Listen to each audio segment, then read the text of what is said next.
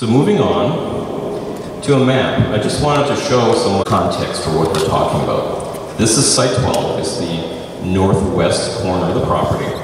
And the red stars are those, those uh, eight buildings that we're talking about, just to give you sort of a spatial distribution of, of where they are. So I mentioned Site 32. What is the current use of Site 32?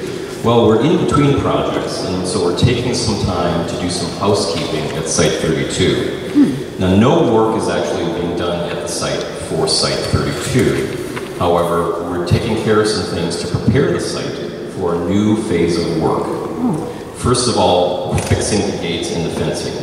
Now, we're going to be constantly doing this for all Navy fences as wear and tear occurs over the years, but Site 32, as it will be a continuous lay-down area, we want to make sure that the fences and the gates are secure. we'll also continue to protect storm drains. So this is to ensure that sediment does not go down the drain.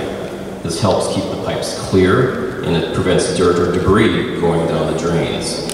This is very similar to what you'll see in other construction projects, even within the city of San Francisco.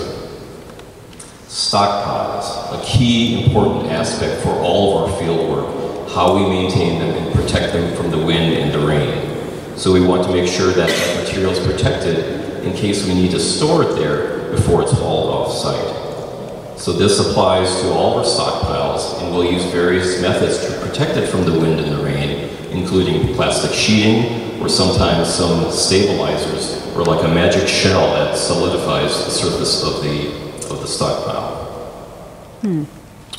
Last but not least, air and dust monitoring. For any project that we do, we'll have a robust air and dust monitoring program as part of the, as part of the project. So this is something that we're being doing for any project that we, that we have ongoing.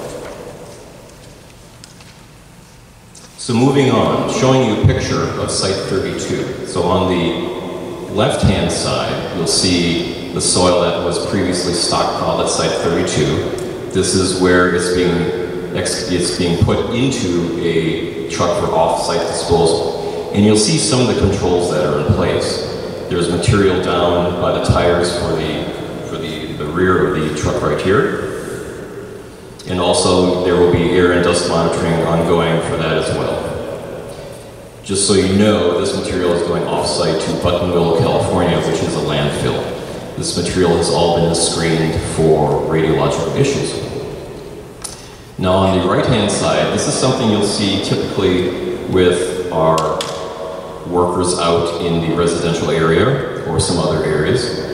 And this demonstrates what we call the pre-excavation soil samples. And of note here is what we should have for all of our workers is the personal protective equipment for themselves, including the safety vest, hard hat, uh, steel-toed shoes, all other equipment that they need. And also, to make sure that the residents are safe, we have safety barriers to make sure that they know that this is an area where work is ongoing. So you'll see the orange, the orange fence here as well. So every time we have some sort of activity ongoing for our projects, you'll see something similar like this, whether it's personnel or there's equipment being used within the neighborhood.